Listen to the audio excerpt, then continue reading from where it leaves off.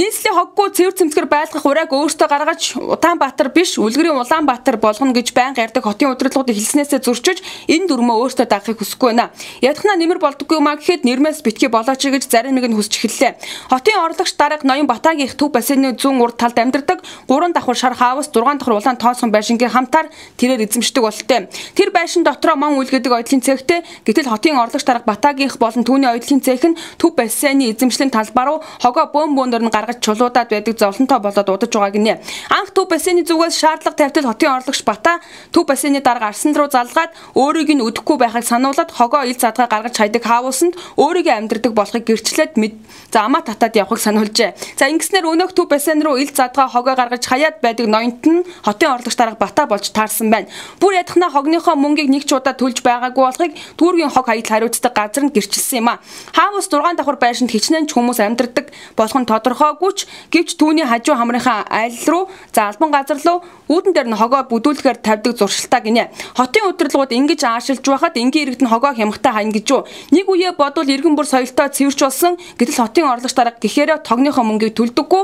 Хогоо өөр албан газрын хашаанд ил задгаа цацдаг байх ёстой юм болов уу гэсэн асуулт ч гарч ирж байна. Төв бассейны шин дараагаар иргэний хөдөлгөөний арслан томилогдсон. За гівч цор цор хийгээд байл хотын орлогч дарга ноёнт нь түүнийг ажилгүй болгох аюултай. Ямар ч хэлсэн төв бассейны зүгээс ноён батаг хотын удирдлага хүнд байх ёс зүйн болоод ухамсар байхгүй гэж үзэж байгаа юм байна. Тиймээс төрийн албаны зөвлөлийн ёс зүйн хэлцэд хандна гэдгээ өнгөрсөн 7 хоногт манай мэдээлэл хөтөлбөрөөр дамжуулж дамжуулж мэдгдсэн юм а. Алло. Уу? Оо, сайн байна уу? Сайн сайн байна. Аа, хотын удирдлага батаа яа. Тийм байна. Аа, за, сайхан байна. За. Тэгээд усан спасралтын төрийн хуулийн зөвлөх хүмүүс гэж ярьж байна. Аа, сонсохгүй чамд яахгүй. Усан спасралтын төрийн хуулийн зөвлөх ярьж байгаа хүмүүс гэж хүн байна. За. Энэ асуудлын өгөхөдрийг энэ манай ойлгоцоор нэг хогоо хаяад яхан танихан. Юу гэдэг юу яриад байгаа чи юу яриад цацараад байгаа юм бэ? Чи юу яриад цацараад байгаа юм бэ? Тэгэхээр би бассейны захирлын ажлыг 10 сарын 3-нд авснаас хойш өнөөдөр 5 сар хагас болж байна. Тэгээ энэ хугацаанд манай яг эзэмшил газар болох энэ явган үний зам шатан дээр энэ таны ард байгаа энэ 3 давхар шар хаус энэ дотор хашаанд байгаа тэр 6 давхар улаан төвийн байшинд орсон суугчд хогоо ил задгаа манай энд хаяад байгаа маа. Тэгээ хин гэддэг хүн ямар хүний хашааг ч мэдэхгүйсэн сүулт мэдлээ л дээ. Энэ хогийн буцаага тэр хашааных нь өөдөнд бид нар оволчихсон хайсан хогийг. Тэгсэн чи хотын орлогч дарга бата над руу уцтаад хотын санхүү эдийн засаг хариуцсан орлогч дарга чи арслаа намайг өдөөд байгаа мó гэдэг чи. Үгүй юу болсон яасан бэ гэж тэгсэн чи хог мог асгаад гин. Одоо өөрөө ч байш юм уу гэсэн чи тийм би тэнд амьдртин гэж байгаа байхгүй. Тэгэхээр нэгдүгээрт Бата гэдэг хотын орлогч дарга бол надаас насаар барыг үе мултарсан хүүхэд байгаа.